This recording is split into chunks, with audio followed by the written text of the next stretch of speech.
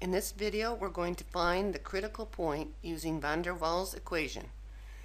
Recall that the critical point is PC, VC, TC, critical pressure, critical volume, critical temperature, and at this point, the system is teetering between liquid and gaseous phases.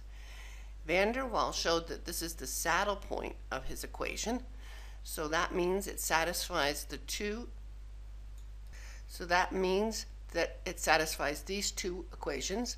The first partial of pressure with respect to volume, evaluated at the point Tc and Vc, must be zero, and the second partial derivative of P with respect to V, evaluated at the same point, must also be zero. So let's see if we can work this out mathematically and find the point like van der Waals did. The first thing we need to do is to solve his equation for P and then take the partials with respect to V. So solving this equation for P, we would get this is equal to RT over V minus P. So P plus A over V squared equals RT divided by V minus B. So P equals RT over V minus B minus a over v squared. Notice that v, which we're going to take the derivative with respect to, is here and here. So this is our equation that we're working on with respect to the partial derivatives. So let's do the first one.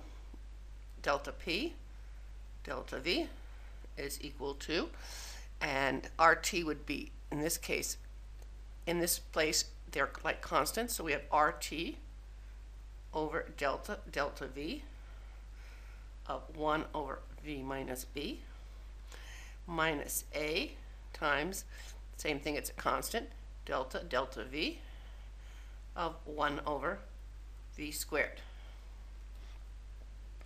So this is V minus B to the minus 1. So its derivative is minus 1 V minus B to the minus 2. So we're going to put the minus up front and then we have 1 over v minus b squared. And now, this is v to the minus 2, so its derivative is minus 2, so we will have plus 2a here. And then v to the minus 3, so 1 over v cubed. So this is the first partial with respect to v.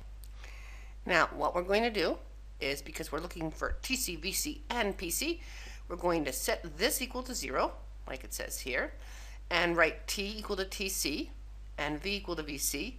And because it's easiest to solve this for tc, we're going to solve it for tc. So what we would have is at 0 equal to this, 0 equal to rtc times 1 over vc minus b squared plus 2a times 1 over vc cubed.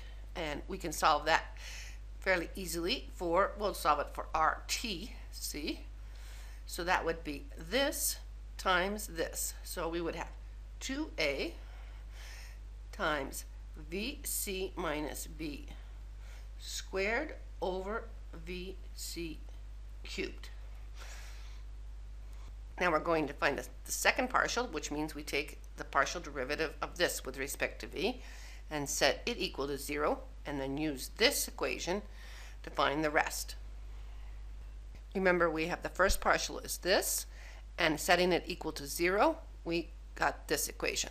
So now we're looking for the second partial so that's delta squared of p delta v squared and so now we have plus 2 here rt times 1 over v minus b cubed minus, and then there's 3 times this, 6a times 1 over v to the fourth. So now we set this equal to 0 with tc and vc, and we get 0 equals 2r tc times 1 over vc minus b cubed minus 6a times 1 over vc to the fourth.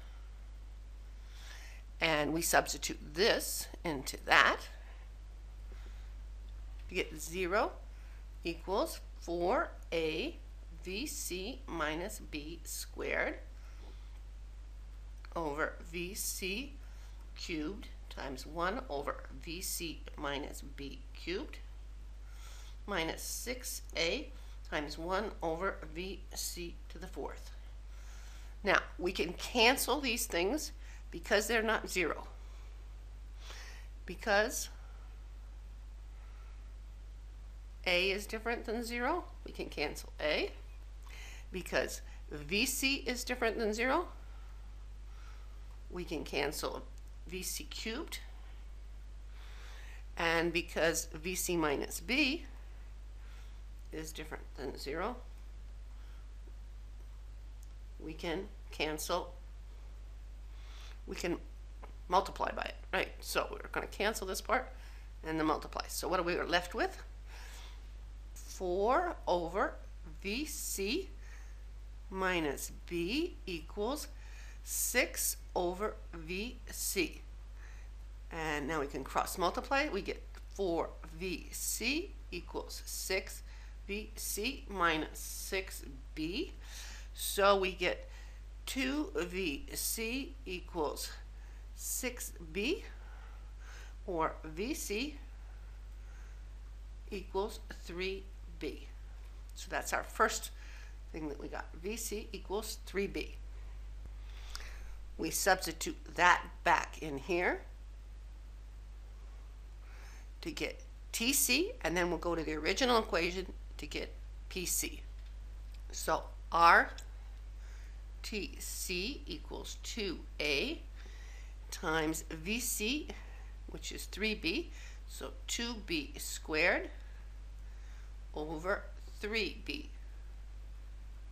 cubed equals 248 a over 27 and there's one b left at the bottom. So tc equals 8a over 27 br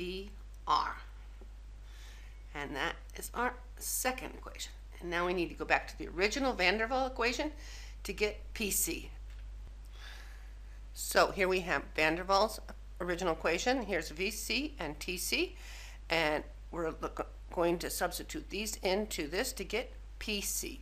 So we have PC plus A over V squared is 3B squared, parenthesis, parenthesis, times uh, 3B minus B equal to R times 8 a over 27 BR. So we see the R cancels here. This is 2B. And so the first thing we have is PC plus A over 9B squared is equal to 8A over 27B divided by 2B. So this would be 4 and b squared. So we have PC equals 4a over 27b squared minus a over 9b squared. So that's equal to, this is going to be 3, so a left up at the top and 27b squared. So PC equals a over 27b squared. So there's our critical point. And a final thing here is that P critical times V critical over T critical. Uh, we would find that P equals A over 27B squared times 3B over 8A over 27BR and all the A's and B's cancel and we get 3 over 8 and the R comes up at the top, R.